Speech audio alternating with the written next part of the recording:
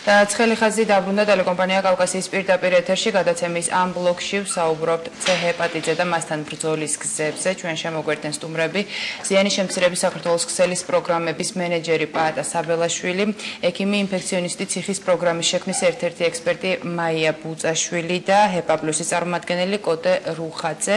მოგესალმებით და მადლობას მოგახსენებთ. მეც მოგესალმებით და გეტყვით რომ ჩვენ გვაქვს სიუჟეტი ამ თემაზე და მაყურებლებს შევთავაზობთ, შევთავაზებთ ამ სიუჟეტს და შემდეგ დავიწყებთ თქვენთან საუბარს. ცეარიცის ფასდაკლების დრო ამ სახელწოდებით აქცია სიანის შემცირების ქსელის წარმომადგენლობა 24 ივლისს ფარმაცევტულ კომპანიებთან გამართეს. აქციის მონაწილეები ცე ჰეპატიტის მკურნალობის ღირებულებას აპროტესტებდნენ. დაავადების გავრცელების მხრივ საქართველოს აღმოსავლეთ ევროპისა და ცენტრალური აზიის რეგიონში ერთ-ერთი ყველაზე მაღალი მარჩვენებელი აქვს. როგორია სტატისტიკა და როგორ აპირებს სახელმწიფო პრობლემის მოგვარებას დეტალები თაკონ ერაბიშვილის სიუჟეტში. Abre a cabina, აი ეს შეიძლება რეალობა გახდეს მალე, თუ ისინი არ დააკლებენ ფასს. რეალობა, რომელზეც აქციის მონაწილეები საუბრობენ, ის არის, რომ საქართველოში ცეჰეპატიტის ვირუსით 200.000 ადამიანია ინფიცირებული. დაავადების მკურნალობა კი დაახლოებით 15000 დოლარი ღირს. ცეჰეპატიტისათვის საჭირო მედიკამენტებზე ფასის შემცირების მოთხოვნით ზიანის შემცირების საქართველოს ქსელის წარმომადგენლებმა აქცია სახელწოდებით ფასდაკლების დროა ფარმაცევტული კომპანიების როშესა და მერკის ოფისებთან გამართეს. ფარმა კომპანიები არის ძალიან დიდი სექტორი, ნავთობის და გაზის შემდეგ არის ყველაზე დიდი სექტორი ნებისმიერ სხვა ბიზნეს შორის და იმაზე მეტიც რაც იარაღის ვაჭრობაა. შესაბამისად ისინი ყველანაირ მეთოდებს იყენებენ, რომ შეინარჩუნონ და დაიჭირონ ფასები ძირითადად მდიდარ ქვეყნებში, მაგრამ ჩვენ ვამბობთ, რომ ჩვენ არ ვართ მდიდარი ქვეყანა და აი ეს შეიძლება რეალობა გახდეს მალე, თუ ისინი არ დააკლებენ ფასს. როშმა და მერკმა აუცილებლად უნდა დაწიონ ფასი, იმიტომ რომ 15000 დოლარად 15 წლის განმავლობაში რო ყიდიან ამ წამალს 35 მილიარდი უკვე ამოიღეს. აღარ არის ამ მედიკამენტებით მოგების მიღების დრო და არის ფასდაკლების დრო. ემიზდი და როში არიან რეალურად მონოპოლისტი კომპანიები, რომელსაც აქვს პრეპარატი ცეჰეპატიტის და იმიტომ რომ მათ უკვე 15 წლიანი სიზონზე რომ არანაირად არ ახდენენ ფასის დაკლებას, უამრავი ადამიანი გარდაიცვალა, არა მარტო საქართველოში, თელ სოფლიოში, საქართველოში 200.000 ადამიანია ინფიცირებული, ჩვენი მეგობარი სულ ახალხა ჩვენი კოლეგა ზურადანელია ზუსტად ამ დაავადებამ შეიწირა და ჩვენ არ გვინდა რომ ეს სურათები იქცეს რეალობად. ჩვენ გვინდა სიცოცხლე ჩვენ თვლით რომ ძალიან ძვირია ცეჰეპატიტის ბუნალობა საქართველოში 200.000-ზე მეც ჭირს ცეჰეპატიტი აქედან ალბათ 10% თუ ახერხებს რომ მაღალი პასებით იმკურნალოს ჩვენი მოთხოვნა აი როშას ოფისთან გავართ რომ დაწიონ ფასები რომ ქართული ხალხისთვის ხელმისაწვდომი გახდეს ბუნალობა აქციის მონაწილეებს არ გამოხმაურებია და მედიისათვის კომენტარი არ გაუკეთებია ფარმაცევტული კომპანია მერკის წარმომადგენლობას.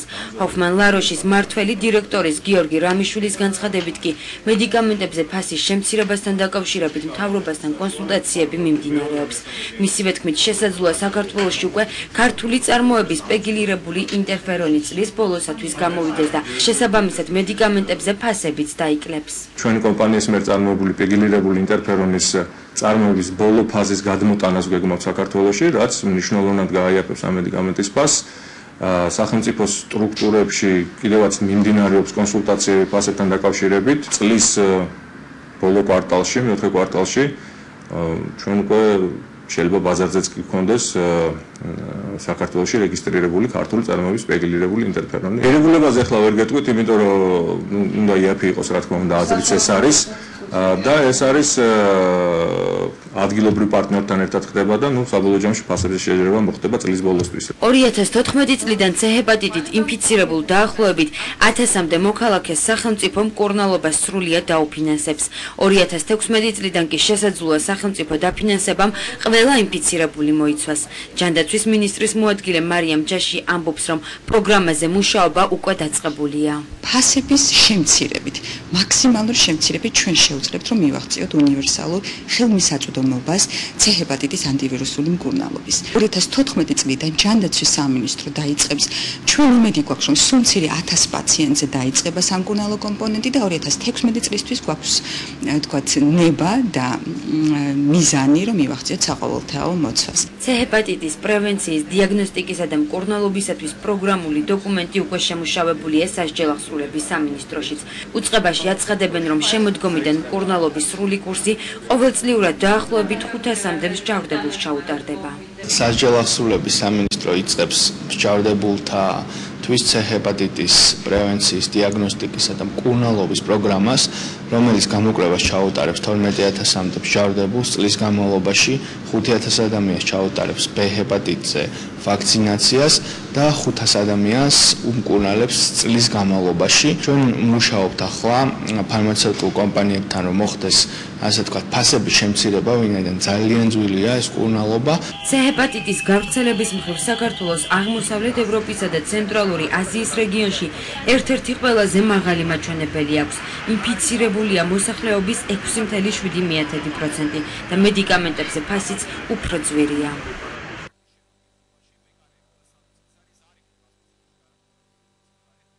დავბრუნდით ეთერში დავბრუნდით შეგახსენებთ ჩვენ საუბრობთ ჰეპატიტის შესახებ ამ პრობლემის შესახებ შეგახსენებთ ჩვენ სტუმრები არიან ზიანის შემცირების საქართველოს ქსელის პროგრამის მენეჯერი პაატა საბელაშვილი ექიმი ინფექციონისტი ციხის პროგრამის შექმნის ერთ-ერთი ექსპერტი მაია ბუწაშვილი და ჰეპაპლუსის წარმომადგენელი კოტე რუხაძე. მოდით გადავატა თქვენგან დავიწყოთ თქვენ გამართეთ აქცია როგორც უკვე ვთქვით C არიცის ფასდაკლების დროა. რა გულისხმობდა ეს აქცია და მიზეზი რა იყო ამ აქციის გამართვა მოგესალმებით, დიდი მადლობა რომ ამ თემას უთმობთ ეთერს, ეს მართლაც საყოველთაო თემატიკა და ყველა ადამიანს საინტერესოს, რომ არ გვეგულება არც ერთი ადამიანი, ვინც არ იცნობდეს ერთ ადამიანს მაინც უცებ ეს პრობლემა აწუხებს საქართველოში. აა რატომ ფარმაკომპანიები მოგახსენებთ ზიანის შემცირების საქართველოს ქსელი უკვე მესამე წელი ამ კამპანიას მართავს. პირველ წელს ჩვენ მოსახლეობის ინფორმირებულობა ავამაღლეთ, რომ ეს პრობლემა ჩვენ შორის არის და არც ისე შორს არის, როგორც ჩვენ გქონია. აა მეორე წელს ჩვენი სამიზნე იყო სახელმწიფო რომ დაეწყოთ მკურნალობა მოქალაქეებისთვის გაიხსნა კარი და ციხის პროგრამა როგორც მოგეხსენებათ უკვე დაწერილია და დამტკიცებული და ახლა მუშაობა მიმდინარეობს სამოქალაქო სექტორში მკურნალობის პროგრამაზე. და შესაბამისად წლევანდელი კამპანია დავგეგმეთ სამიზნეთ ამოვიღეთ ორი ფარმა კომპანია რომელსაც აქვს მონოპოლია ბიპოლია ეგრეთ წოდებული და 15 წლის განმავლობაში 15000 დოლარს არ ფეხს არ უცვლიან როგორც ხალხი ეს მოკლედ უთხრათ რას ნიშნავს 15000 დოლარი დოლარი რა ჩდება? 15000 დოლარი ჩდება მკურნალობის 48 კვირიანი კურსი. არსებობს ორი სქემა. პირველ და მეოთხე გენოტიპზე არის 48 კვირიანი კურსი, თითქმის ერთწლიანი, ხოლო მეორე მესამე გენოტიპზე 24 კვირიანი კურსი. ფასი ხმარობთ ხოლმე 48 კვირიანი კურსის ფასებს ვადარებთ ხოლმე ერთმანეთს. არის ხელოვნურად შემოშალებული ფასი, რაც უფრო ღარიბია ქვეყანა, მით მაღალია ეს ფასი, რომ მაქსიმალური მარჟა ამოიღონ იმ მცირეოდენი მოსახლეობიდან, ვისაც ღარიბ ქვეყანაში ეს ხელს ცეცაფება და სხვადასხვა ქვეყანაში ვარირებს 18-დან 2000 დოლარამდე. იმის და მიხედვით თუ სახელმწიფომ რა ძალისხმევა ას მიმართა, რომ დაეწყო მკურნალობის პროგრამები. აა უკაცრავად, მანამ ვიდრე სახელმწიფომდე გადავიდოდეთ, ანუ რეალური ფასი თქვენი ინფორმაციით რა არის ამ კურსის და რამდენი არის ეს ნამატი, რაც 15000 დოლარს აღწევს? ჩვენ დანამდვილებით ვიცით შიდა წყაროებიდან, რომ 500 დოლარს არის აღემატება წარმოება, ტრანსპორტირება, დისტრიბუცია და სხვა თანამდებობები. 500 დოლარი და 15000 წელი ამაზე საუბრო? კი. კი.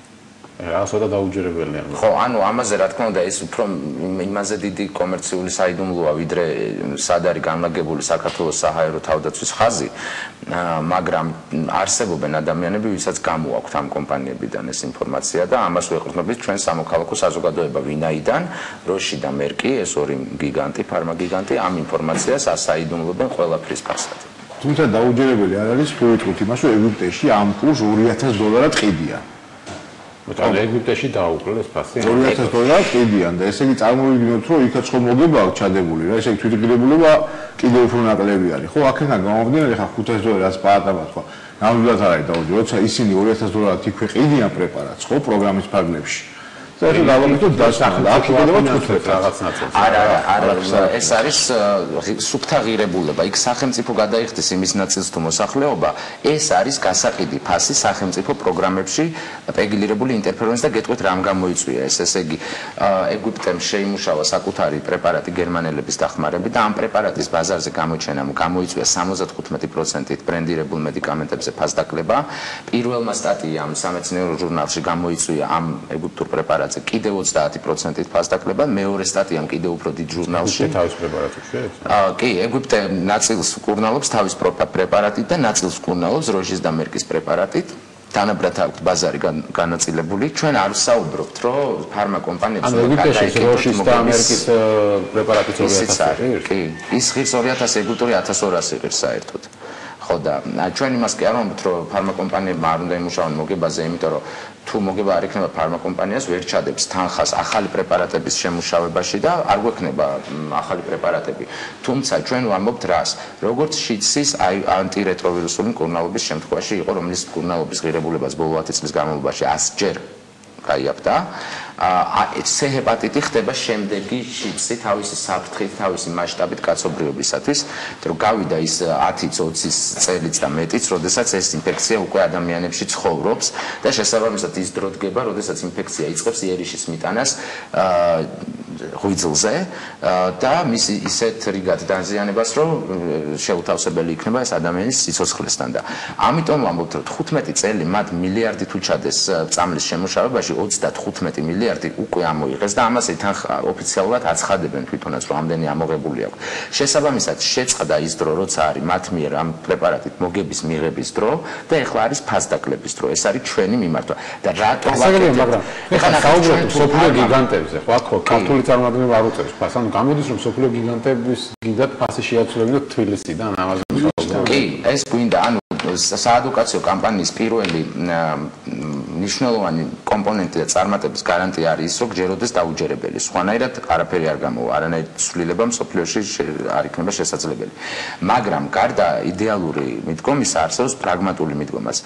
პეგილირებული ინტერფერონი მალე ალბათ აღარ იქნება დასავლური სტანდარტი, ვინაიდან გამოდის უინტერფერონო ფორმები, პირდაპირ ვირუსული მოქმედების უინტერფერონო ფორმები, რომლის შეძენის საშუალებას დასავლეთის ქვეყნებს აქვთ და უკვე ნამკურნალო ადამიანები ელოდებიან, რომ ვისაც უწარმოებლად ჩაუტარდა მკურნალობა, რომ ახალი პრეპარატებით იმკურნალონ და მათ რჩებათ მხოლოდ ეს ბაზარი, აღმოსავლეთ ევროპა, აფრიკა, ლათინური ამერიკა, აზია და ასე შემდეგ. და აქ ქვეყნები ამხელა თანხას რაც ევროპიდან და ამერიკიდან ამოიღეს, იმათ ვეღარ ამოიღებენ. შესაბამისად, რეალობას უნდა გაუსწორონ თვალი, ეს 2-3 წელი რაც რჩებათ იმისთვის, რომ გაყიდონ თავიანთი ინტერფერონი, უნდა დააკლონ ფასი ამისათვის. სხვანაირად, ის პროგრამები, რაც ახლა ეწერება, იქნება შეუძლებელი რა, თუ ფასდაკლება არ მოხდა. აი, იმ შემთხვევაში თუ ამაზე უარს იტყვიან კომპანიები, სახელმწიფოს როლი შეიძლება არსებითი იყოს ამ პროცესში, რომ კურნალობა უფრო ხელმისაწვდომი გახდეს. რა თქმა უნდა, სახელმწიფოს პირველში მოგესალმებით, მეც ფაბულოს გადაგიხდით, რომ კიდევ ერთხელ ერთხელ ერთვება ეთერი ამ პრობლემას. სახელმწიფოს როლი იქნება კიდევ უფრო მნიშვნელოვანი, რა თქმა უნდა, თუ კი მოხდება ფასდაკლება, იმიტომ რომ ყველაფერი პირდაპირ პროფესიულად დამოკიდებული ხარ ფასზე. ხო, რაც უფრო დაბალი იქნება ფასი იმ ბიუჯეტზე, რომელზეც თქვა ახლა მუშაობს ექსპერტების ჯგუფი, მათ შორის არის ხალხო მაიაქცე, სადაც იწერება ეს ყველაფერი, ყველაფერი დამოკიდებული არის იქ იმაზე რა ფას მიცემენ ეს კომპანიები სახელმწიფოში.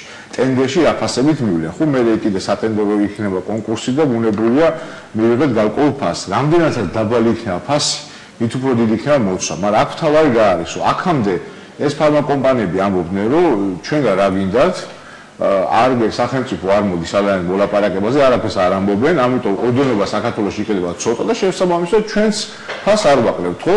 მათ აქვს სხვადასხვა ძალიან უცნაური ფასთა პოლიტიკა აქვს, რომ ისინი ჩვენ არ ესე თქვა განვითარებულ ქვეყნებში, ქვეყნების სადაც ნაკლებია რეალიზაცია, ალბათ გაცილები დიდი ფასი, თქვა, ვითომ სხვა ქვეყნებში, იმიტომ რომ ორიენტირებული არის ციე გაყიდვაზე და ციე გაყიდვიდან ფასნამატი დიდია და შემოსავალსაც ამითვლია. ეხლა ბატონო შეიცვალა რეალობა, იმიტომ რომ სახელმწიფომ გამოთქვა მზაობა, სახელმწიფომ გამოთქვა ნება, როგორც საჯარახსულების დეპარტამენტმა თქვა ციხეში მყოფი ადამიანებისათვის, ისე ჯანდაცვის საზოგადოებრივ ჯანდაცვაში ზარსებობს ზაობა, რომ დაიწყოს ადამიანების კურნალობა, რა თქმა უნდა, ეს ესე ერთიანად მასშტაბურად ვერ დაიწყება, ჩვენც ამაზე მუშაობთ, რომ ეტაპობრივი გეგმა კეთდება და იქნება დაახლოებით სამეტაპიანი გეგმა, შემდეგ რომ 2016 წლამდე გახდეს უნივერსალური ხელმისაწვდომობა, ზუსტად აქ აქ არის საქმე იმაზე, რომ ჩვენ სახელმწიფოს მივაწვდეთ ყველა ის ინფორმაცია, რაც პაატა მილაპარაკა, როგორი შეიძლება შეიცვალოს მომავალში ბაზარი რა ახალი ახალი მედიკამენტები შემოდის, როგორც ვთქვათ, ეს პრეპარატი შედარებით უკვე დაბალი კატეგორიის ხდება. აქედან გამომდინარე ჩვენ სახელმწიფოს მივეცით ის ბერკეტები არასამთავრობო სექტორმა, მათ აწარმოონ დიალოგი ფასის დაკლებაზე, ხო? აი ახლა ზუსტად ეს პროცესი მიმდინარეობს. ეხლა უკვე როგორც ითქვა, ბურთი არის ფარმაკომპანიების ხარეზე და ისინი რასაც აქამდე ამონენ, რომ არ იყო ინტერესი და არაკლებდნენ ფას, არის ინტერესი, არის ფინანსური მზაობა, სახელმწიფო შეისყიდოს და დაიწყოს კურნალობა. პლუს ამას საუბარია იმაზე, ეს არის მნიშვნელოვანი ჩვენი ქვეყნის მოქალაქეებისათვის, რომ სახელმწიფოს გადაწყვეტილი აქვს ესეთი პოლიტიკის წარმოება, რომ ის ფასი რაც იქნება მიღწეული სატენდერო პირობებში, თქვა ხო, პროგრამებისთვის, რომ ეს ფარი და ფასი დარჩეს ასევე საბაზრო საცალო, ესე ვთქვა, ქსელში, რომ ესე იგი ადამიანებს უკვე ვისაც აქვს თქვა იმის ფინანსური საშუალება, რომ არა 15, არამედ თქვა პირობიდან მომო 5-6000 დოლარი ხება ერთსვლიანი კურსი ხო? თვითონ წავიდნენ თვითონ თქვა შეისყიდონ და არ დავალებენ თქვა ამ პროგრამებს და რიგს. ამაზეა საუბარი. ამით მოხდება ის რომ ფარმები გაზდია რეალურად თავიანთ ბაზარს უფრო გაყიდენ, მას გაყიდები დაბოლია და ერთიც კიდე პატამ რაცა თქო, ზუსტად ფოკუსირებას დღეს ხდება ჩვენ ქვეყანაზე.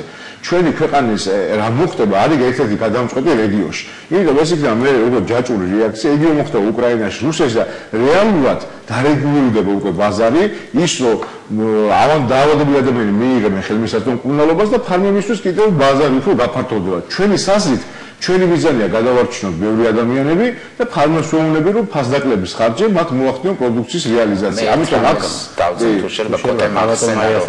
კი, ზუსტად ქალბატონ მაიამდე სანამ გადახვალთ რომ ახსენა რომ დაბალ კატეგორიაში ჩამოდის ეს სამალი, უნდა ვთქვათ რომ არ ვინდა ხალხმა ისე გაიგოს რომ ამ წამლით კურნალობა რაღაც მეორე ხარისხოვანია.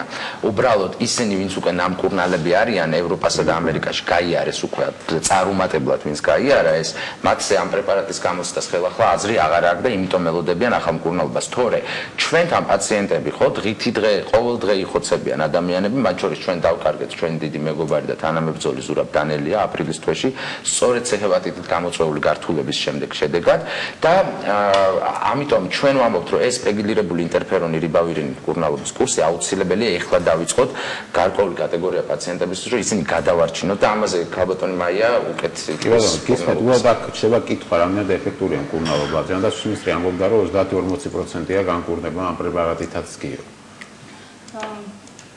პრეპარატის ეფექტურობა დამოკიდებულია ვირუსის ეგრეთ წოდებულ გენოტიპზე, ანუ უხეშად რო ვთქვა, რომელი ჯიჟის ანუ სუბტიპია C-ჰეპატიტის, რომელი სახეობა გვაქვს, ასე ვთქვა. ასეთი არის სულ 6 საქართველოში გავრცელებულია 3, პირველი, მეორე და მესამე და ისინი განსხვავდებიან ერთმანეთისგან რამდენად პასუხობენ კურნალობას. და მერყეობს ეს პროცენტი დაახლოებით 30-დან 80%-მდე ტიპის მიხედვით. ესეთ მოარული აზრია და კარგი აქვს საშუალება მომეცა რომ ეს გამომარტო რომ C-ჰეპატიტის ვირუსისგან განკურნება შეუძლებელია. ზოგი ამბობს რომ რაღაც მიძინება ხდება, გაყინვა, ესეთ უცნაურ ტერმინებში არსებობს. სინამდვილეში არის შემდეგი. რომ C-ჰეპატიტისგან, როდესაც ვაპარაკობთ აი 25%-დან 80%-მდე, ეს იმ ხალხის პროცენტია, რომლის სრული განკურნება ხდება, ანუ რომელსაც კურნალობის შემდეგ C-ჰეპატიტი აღარ ექნება, ანუ გამოჯანმრთელდება. კიდევ ერთხელ ვიმეორებ, გენოტიპის მიხედვით ეს მე რომელი გენოტიპია ყველაზე რთული და პირველი გენოტიპის კიდევ რაღაც სუბკატეგორია, რომელსაც აქვს უფრო დაბალი გამოჯანმრთელების შანსი, მეორე მესამე გენოტიპს უფრო კარგი აქვს გამოჯანმრთელების შანსი და 80%-ს აღწევს. კი ბატონო და ციხეებში რამდენად ვიცი დაიწყო სახელმწიფო ეს პროგრამა. უკვე დაიწყო პროგრამა და იქ რა მდგომარეობა? პროგრამა ასე ვთქვათ შექმნილია უკვე შეთანხმებულია, ბიუჯეტი დათვლილია და ნუ სავარაუდოდ სექტემბერ-ოქტომბერში უკვე ფიზიკურად უნდა დაიწყოს განხორციელება. ციხეებს რა ფასად აწვდის აწვდენ? სწორედ ამის მოლაპარაკება მიმდინარეობს ახლა. ანუ ამ ფასზე ხა ჩვენ კომენტარს ვერ გავაკეთებთ, იმიტომ რომ ეს არის ძალიან მაღალ ეშელონებში ამაზე მოლაპარაკება. ჩვენ არ ვიცით იმედია დიდი რომ ვიდანიდან შესყიდვა იქნება დიდი რაოდენობით ფასი მნიშვნელოვნად დაიწევს. და ნუ საშუალოდ განგარიშებულია რომ წელიწადში სადღაც 500 პაციენტის კურნალობა მოხდება საპატიმროში. მაგრამ საკითხი ხა ესე დგას რომ რომ არ გაჩნდეს იმის განცდა. აი და ციხეში დავიჯდე რომ ну ეს ერთი მიზეზი და მეორე იმიტომ რომ სახელმწიფო უნდა იზრუნოს გარეთ მყოფებზეც. თუმცა რა თქმა უნდა პასუხისგებლობა უფრო დიდი აქვს საჟელასრულების სისტემაში მყოფებზე სახელმწიფოს. ამიტომ დაიწყო ლაპარაკი საჟელასრულებიდან და სამოქალაქო სექტორშიც ახლა მიმდინარეობს აქტიური მუშაობა რომ დაიწყოს სახელმწიფო პროგრამა. ეს 500 პატიმარის ვიზით სავარაუდოდ გავრცელდება ეს პროგრამა. თუ გაქვთ ინფორმაცია რა ნაწილი არის ინფიცირებული პატიმრების რაღაც ესეთი ოფიციალური კვლევა, რომელიც სრულად დააკმაყოფილებდა ნამდვილი კვლევის ყველა კრიტერიუმს არ ჩატარებულა, მაგრამ რაღაც პატარ-პატარა კვლევებით და დაახლოებით ესეთი შეფასებით ვფიქრობთ, რომ 30%-ია ინფიცირებული, მაგრამ საერთოდ ზოგადად თომსოფლიოში საპატიმროებში ბევრად მაღალია გავრცელება ცეჰეპატიტის ვიდრე გარეთ. ყველა ქვეყანაში ასეა, იმიტომ რომ შესაბამისად მაინც რისკ ფაქტორები მეტია. რა კრიტერიუმები უნდა მოხდეს პატიმროების არჩევა იმ შემთხვევაში თუ ყველაზე არ გავრცელდება? ზოგადად საერთოდაც ვისაც ცეჰეპატიტი აქვს, ავტომატურად არ ნიშნავს, რომ იმას კურნალობა ჭირდება. ცეჰეპატიტის სხვადასხვა ვარიანტები არსებობს, მათ შორის 20-25% ისეთია, რომელსაც თქვათ ვირუსი ოდესღაც ქონია, მაგრამ თვითგამკურნებით დამთავრებულა და დანარჩენებშიც, ვისაც ეგრეთ წოდებული ქრონიკული ცეჰეპატიტი აქვს, ანუ ვის სისხლშიც ასე ვთქვათ დარჩა ვირუსი და გამოიწვია დაავადება, იმათ შორისაც მთელი რიგი კრიტერიუმები არსებობს, რომლის არსებობის შემთხვევაშიც ადამიანს ჭირდება მკურნალობა. ყველას არ ანუ აქ სიმპტომებზე არის საუბარი, ვისაც სიმპტომები აქვს და აწუხებს ასე ვთქვათ მარტივად. სამწუხაროდ ცეჰეპატიტის პრობლემაც ის არის, რომ სიმპტომებს აი ესე რასაც ჩვენ ვეძახით, უმრავლეს შემთხვევაში არ იწვევს. პრობლემა ეგაა რომ ადამიანები შემთხვევით იგებენ ხოლმე, რასაც ვირუსი აქვს და სიმპტომები უმრავლესობას არ აქვს. აქ ლაპარაკია ლაბორატორიულ და ინსტრუმენტული გამოკვლევებით მიღებულ ინფორმაციაზე. ანუ კონკრეტული თქვა ანალიზების თუ თქვა ინსტრუმენტულ გამოკვლევებს, რასაც ვეძახით, ანუ ვიძლის ქსოვილის სიმკვრივის ზომის სტრუქტურის შეფასების შემდეგ, გინდება ამ ადამიანს ჭირდება თუ არა მკურნალობა, რამდენად სასტრაფოდ ჭირდება და ასე შემდეგ. და ამის მიხედვით და ამის შემდეგ ხდება შერჩევა. ეს მარტო საპატიმროზე არ არის ლაპარაკი, ჩვეულებრივ ხა მე თვითონ ექიმი ვარ და ჩვეულებრივ პაციენტსაც კი რომელიც თვითონ იხდის ფულს, იქაც ყოველას არ უდარებთ მკურნალობას, უნდა ჭირდებოდეს აუცილებლად ეგ ერთი და არსებობს მეორე სამწუხარო ვარიანტიც, როდესაც არ შეიძლება მისთვის ეს მკურნალობა და ვერ უდარებთ. გასაგებია და ბოლოს ჩვენ ეს ბლოკი სრულდება, მაინტერესებს სახელმწიფოსთან უბრალოდ ხელისუფლებასთან თქვენ თუ გაქვთ ურთიერთობა მოლაპარაკებები და რა თანხაზე მიდის საუბარი, ანუ რამდენით უნდა დააკლონ ამ ფარმაკომპანიებმა, რომ ხელისუფლება წავიდეს დაფინანსებაზე სრულად. მე არ ვიცი რამდენად მოახერხებენ ჩვენი საჯარო მოხელეები ფასის დაკლებას, მაგრამ ვიცი ერთი რამ, რომ ჩვენი მოთხოვნაა, რომ ფასი უნდა დავიდეს ეგვიპტურ ნიშნულამდე 2000 დოლარამდე. ეს არის ჩვენი საკამპანიო მოთხოვნა. რაც შეეხება მიმდინარე მოლაპარაკებებს, უპრეცედენტო შემთხვევა საქართველოს რეგიონში მართლა სრული პასუხისმგებლობით მინდა ვთქვა. და არ ჩამომართვათ ეს გარკვეულწილად თავრობის ქებაში, ვინაიდან აი ეს სამინისტროები რომელიც ჩაერთნენ ამ საკითხში, ხო? იმდენად შეკრული არიან ერთმანეთთან და იმდენად მობილიზებული აწარმოებენ ამ მოლაპარაკებს, რომ ეს რომ ჩვენი დიდი მოლოდინი გვაქვს, რომ კარგად შეძლებენ ამ ფასის დაკლებას. დიდი პრობლემა აქვს ჩვენ კოლეგებს უკრაინაში, იმიტომ რომ სახელმწიფოს აწყობს რაც შეიძლება ძვირად იყიდოს, რომ შემდეგ გარკვეული დაინტერესება ნახოს ფარმაკომპანიებისგან კორუფცია, ხო? იგივე ხდება რუსეთში, იგივე ხდება ყაზახეთში, რომელსაც აქვს ფული, მაგრამ მაინც ვერ მკურნალობს ყველას და იხდის 14-დან 18000 დოლარამდე, იმიტომ რომ აწყობთ იქ საჯარო მოხელეებს, ვინაიდან ფინანსური დაინტერესება აქვს. ამაზე ყოველ შემთხვევაში ჩვენ ფიქრი არ გვიწევს და ძალიან კარგ პოზიციაში ვართ. ჩვენ საქართველოს აქტივისტები მხრივ რომ თავრობასთან გქონდეს ყოველდღიური კავშირი ფაქტიურად რომ მათ დავეხმაროთ იმაში რითიც ჩვენ შეგვიძლია რა თქმა უნდა და სოფლიოდან ვიშველებთ გარკვეულ მაგალითებს და სხვა აქტივისტებისგან ვიგებთ გარკვეულ მაგალითებს სტრატეგიებს და ასე შემდეგ და ვცდილობთ რომ აღჭუროთ სახელმწიფო ორგანოები რომელიც მართლა მობილიზებულად და კომპეტენტური ადამიანების ჩართულობით აკეთებენ აი ამ მოლაპარაკებებს. მართლა დიდი იმედი გვაქვს და გვჯერა რომ ჩვენი ჩვენი აქტიურობა მართლა დაეხმარება ქვეყანას რომ რაც შეიძლება მეტი ადამიანი ჩართოს კუნალობის პროგრამაში.